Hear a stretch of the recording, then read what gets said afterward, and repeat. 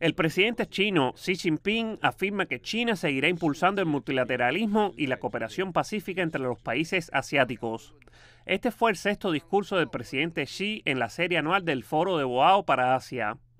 El mandatario chino indicó que el mundo sigue enfrentándose a las incertidumbres que ha traído la pandemia de COVID-19 y que ahora más que nunca debemos trabajar juntos. China ha proporcionado más de 2.000 millones de dosis de vacuna a más de 120 países y regiones. Xi agregó que China seguirá haciéndolo para reducir la brecha de inmunización. También señaló que China está comprometida a seguir promoviendo la apertura, impulsar la recuperación económica e incentivar la unidad asiática. El presidente Xi enfatizó que la seguridad es un requisito previo para el desarrollo.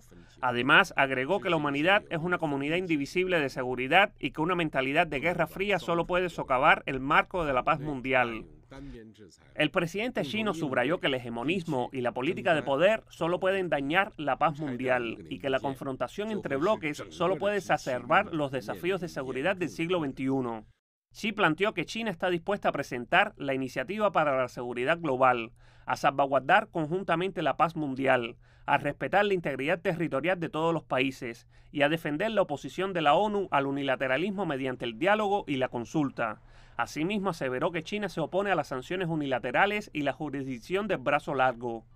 Funcionarios de alto perfil, incluido el viceprimer ministro chino Han Xin, asistirán virtualmente al foro, así como jefes de estados de Israel, Mongolia, Nepal, Filipinas y la directora gerente del Fondo Monetario Internacional.